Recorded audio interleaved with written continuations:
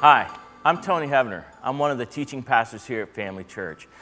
Don't miss out and join us this Sunday in person or online at one of our many services as we continue our series in 1 John, Being Confident.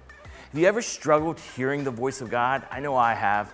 Well, this Sunday we'll be reminded that we can be confident in discerning God's voice and how to make sure we're always in His will. We hope to see you this Sunday. Come on out.